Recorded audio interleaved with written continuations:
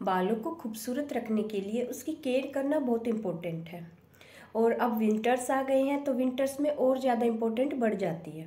क्योंकि विंटर्स में डेंड्रफ होने का चांसेस बहुत ज़्यादा होते हैं। हम गर्म पानी से वॉश करते हैं और फिर डेंड्रफ हो जाता अब ठंडे पानी से वॉश करेंगे तो कोल्ड कफ लेके आएँगे, गर्म से वॉश करेंगे तो डेंड्रफ लेके आएँगे। अब सॉल्यूशन ढूंढना पड़ेगा। ओके?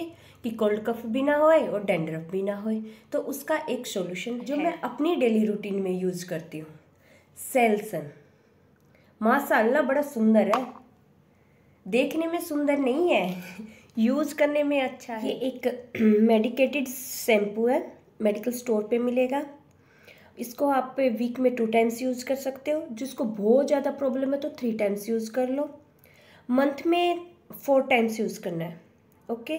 एक वीक में टू टाइम्स फिर वीक स्किप कर देना, फिर नेक्स्ट वीक में टू टाइम्स चुटकियों में गायब हो जाएगा। वादा है मेरा। आप यूज़ करके देखो। वैसे हेयर केयर के बारे में बात कर रहे हैं।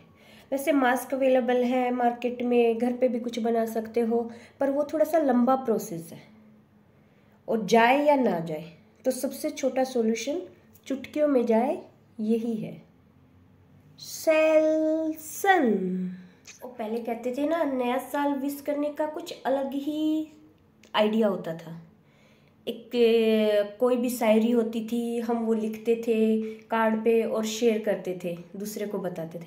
अब एक मैसेज आया कॉपी किया, भेज साल मुबारक हो दिल की गहराई से, खुदा आपको दूर रखे गम और तनाई से। ऐसे करते थे ना विश अच्छा भी लगता था। अब वही बात होगी, नए साल में मुबारक हो आपको शैम्पू, ना आए आपको डेंड्रफ और चुटकियों में होए आपकी प्रॉब्लम सॉल्व। ओके?